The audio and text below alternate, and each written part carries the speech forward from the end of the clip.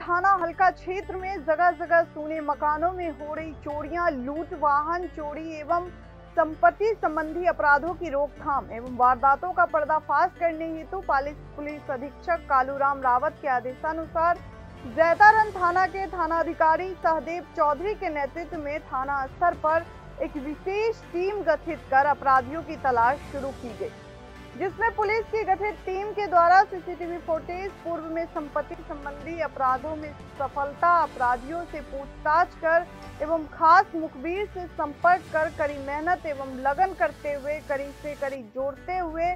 संदिग्ध अपराधियों से पूछताछ करते हुए पुलिस ने 25 वर्षीय सेठाराम 28 वर्षीय राकेश मकरान 22 वर्षीय दिलीप कुमार को गिरफ़्तार कर निमाज कस्बे में सूने मकान में हुई चोरी का माल